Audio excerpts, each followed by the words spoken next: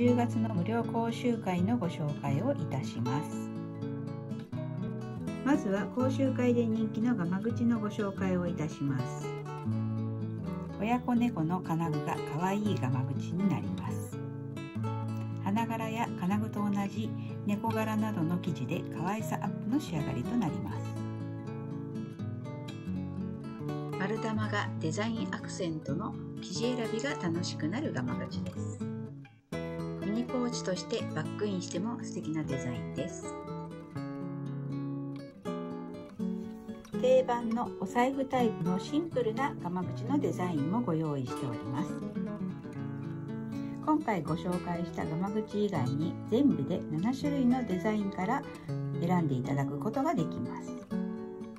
受講できるデザインはスタッフにお気軽にご相談ください。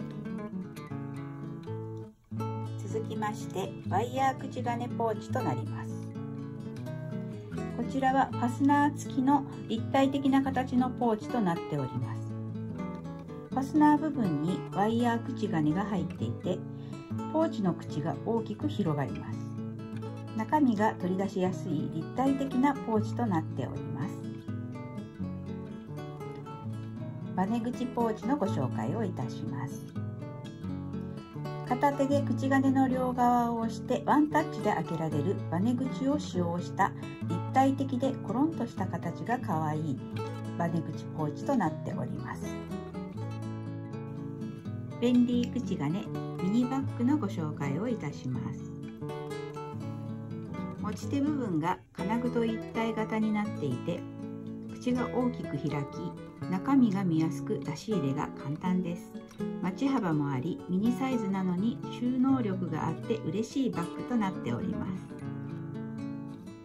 生地選びによって華やかにもカジュアルにも仕上げられるミニバッグとなっております。